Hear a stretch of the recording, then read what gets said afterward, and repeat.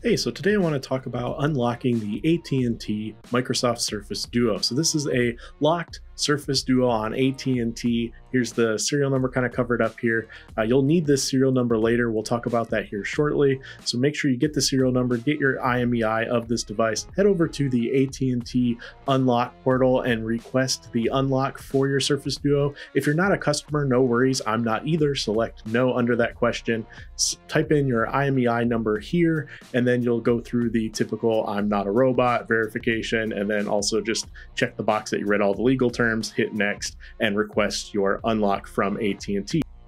Now, once you've done that, you can check your status of your unlock by typing in your IMEI and the AT&T request number. Here you can see I requested this on August 12th. We'll get to the timing overall uh, here in a bit, but I just wanted to show you once it shows the current status of pending, you're going to want to head over to Microsoft's website so that way you can contact their support. So head over to Microsoft.com. You can then scroll to the bottom and there's going to be a contact Microsoft link. Select the contract contact Microsoft, sign into your Microsoft account if you have one. If not, I would suggest creating one and then select get started.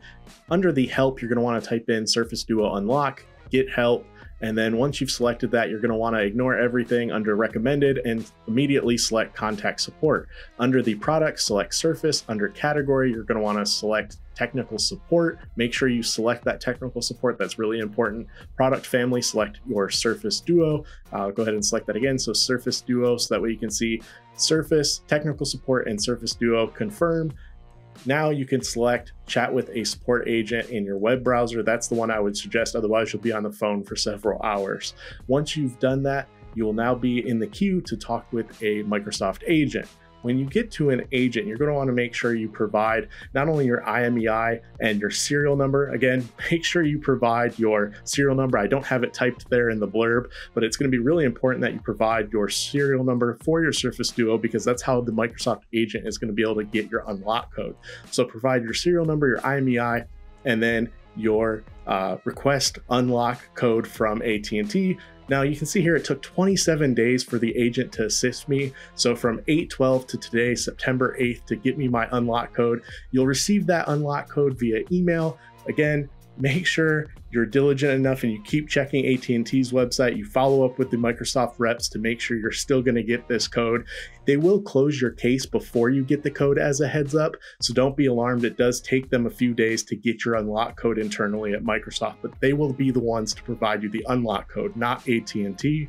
So now that we have the unlock code, I wanted to show you the process really quick so you'll go ahead and power up the Surface Duo, put in your SIM of choice. I'm using a Google Fi SIM here. I also used my T-Mobile SIM. You'll see the SIM network unlock pin screen show up on Surface Duo once you've inserted your SIM. We're gonna go ahead and type this in really quick. And as you can see, we now have the code typed in.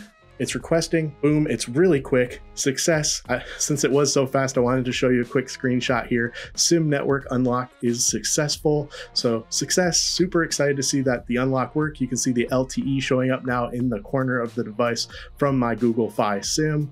The Surface Duo is now unlocked. You can see the carrier there under the carrier settings. Super excited to see that this process worked. It did take quite a few days, almost a month. Let me know if you have any questions. I left these steps in the description of this video below. Thank you for watching. Take care and stay safe.